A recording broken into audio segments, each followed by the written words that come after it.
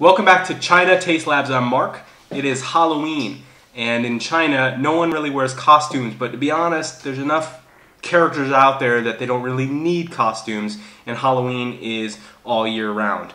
Today, I'm going to be taste testing something I'm actually excited and happy about trying. It is a soda. It's green apple flavor, and I love green apple flavor. It's called Smart Apple Flavor. Smart is the brand, apple flavor is the flavor of this.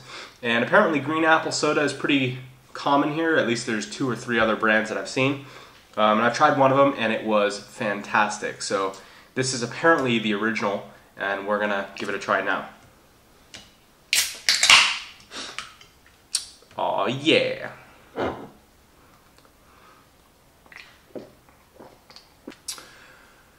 Interesting. It's good, like a Jolly Rancher, the green ones. Um, but there's almost an aspartame taste to this one that the other one I've tried didn't have. I'm not sure what that's about. I don't think it's a diet soda, but it definitely has an artificial taste at the end that isn't from the artificial apple flavor. It's kind of almost like a chemical. Not too happy about that. But it's drinkable. It's alright. Give it one of these guys. Tune in next time and we're gonna have some more Oreo videos I've talked about before. We're actually gonna start doing them. I bought them.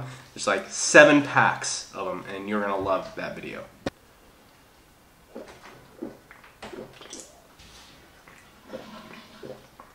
It's growing on me. Actually, it's a Coca-Cola product. Huh, what do you know? But still that aspartame flavor.